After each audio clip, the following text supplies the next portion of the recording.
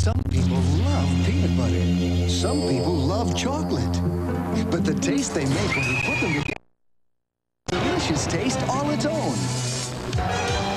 Reese's Peanut Butter Cups. Yes. Reese's, please. Two.